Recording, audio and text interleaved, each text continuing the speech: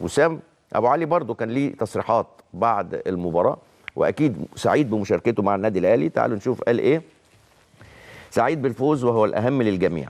هذه أول مباراة لي مع الأهلي وسعيد بالمشاركة وانتظرت هذه اللحظة كثيرا.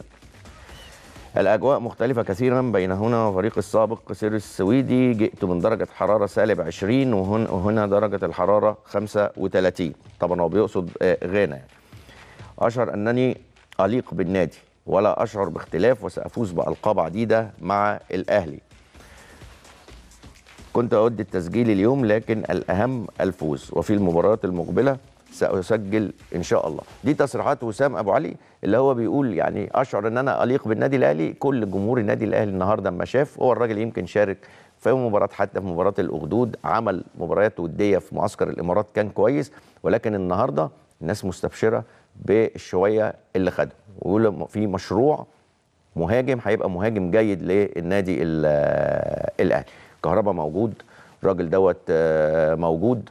موديست النهارده يمكن برضو يعني خليني برضو ما- أقولكش إن موديست النهارده يعني كان wow أو ولكن النهارده يتحسب له إن هو قدر إن هو يعمل assist المكسب اللي جاب 3 point. فبرضه ده شيء يحسب له. موديست النهارده يمكن خطورته ما كانتش كمهاجم للنادي الأهلي ولكن النهارده موديست عمل إفادة كبيرة جدا مع دفاع النادي الأهلي في معظم العرضيات اللي اترفعت على النادي الأهلي سواء ضربات حرة من الجناب أو سو- سواء ركلات ركنية وكان ما أكثرها خصوصا الشوط الأول ولكن كان بيتعامل معاها كلها. الراجل بيروح يقف على العارضه القريبة يدافع فاللي مش واخد باله من موديس يرجع يراجع إن الراجل ده دفاعيا حتى كان مفيد جدا للنادي الأهلي وهجوميا الراجل طبعا شارك في الهدف بشكل كبير لأن هو عامل الأسيست اللي جاب منه حسين الشحات الهدف. كان عندنا برضو تصريحات للكابتن خالد بيبو وخالد بيبو طبعا من حقه إن هو يبقى مبسوط ويتكلم ويبقى سعيد بالانتصارات.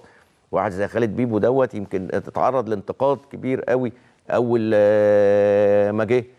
ولكن الراجل خد الأمور بهدوء بيتعامل مع اللعيبة بشكل كويس. اللعيبة بتحترمه بشكل كبير جدا بيحبوه بشكل كبير جدا.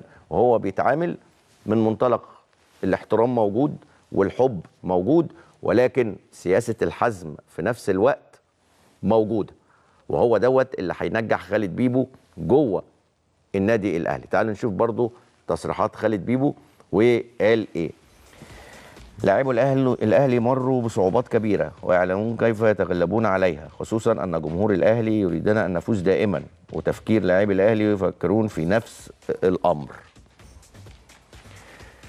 تكون هناك أحيانا بعض الصعوبات للدخول في أجواء المباراة ولكن في النهاية تحقق الهدف وهو الفوز بمباراة اليوم.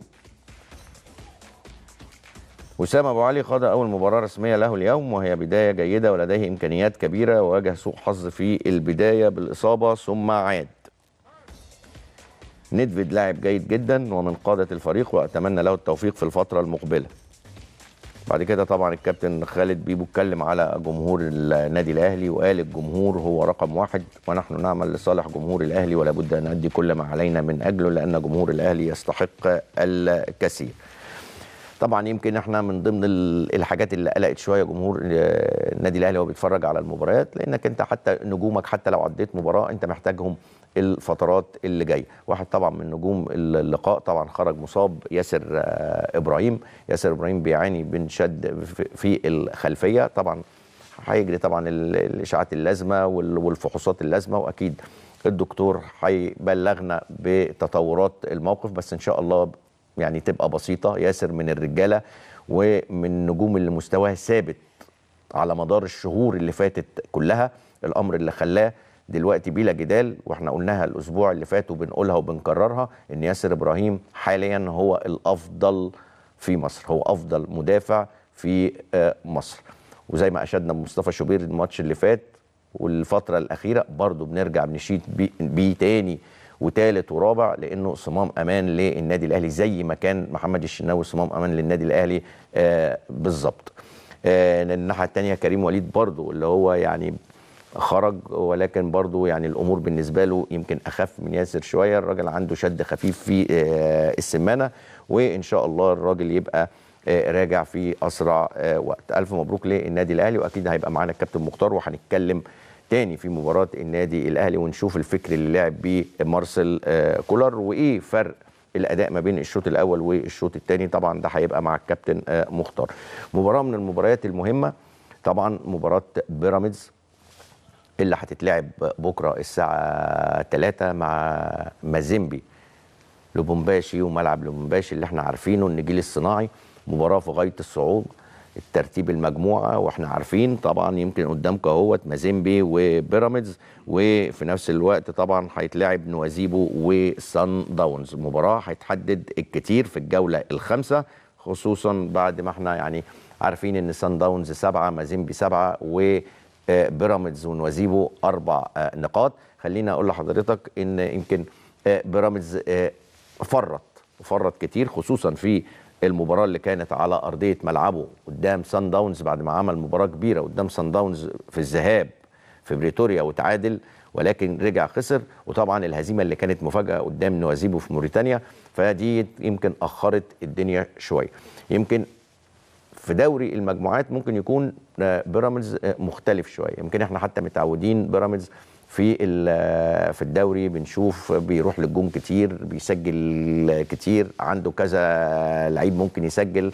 عنده فخري لقاي بيجيب اجوان مايلي بيجيب اجوان كان عبد الله السعيد لما كان في بيراميدز قبل ما يروح الزمالك بيجيب اجوان مصطفى فتحي آه وليد الكارت كل النجوم ديت كانت تقدر إنها تسجل وإنها تصنع الفارق. ولكن على مستوى الأربع ماتشات اللي اتلعبوا وإحنا لسه أهو داخلين بكرة على الجولة الخامسة تلاقي إن في ندرة أهداف بشكل كبير جدا مع بيراميدز مش متعودين عليها. يعني حتى ممكن بيراميدز ممكن ما, ما, ما يكسبش بس مثلا كان بي بي بي بيتعادل بيسجل أهداف بيروح للجون. فأنت عندك مازيمبي أما بدأت بيه أول مباراة قدرت إن أنت تكسبه 1-0 وكان فوز مهم ولكن سجلت هدف. طلعت بعد كده موريتانيا. خسر بيراميدز 2-0 ما سجلتش.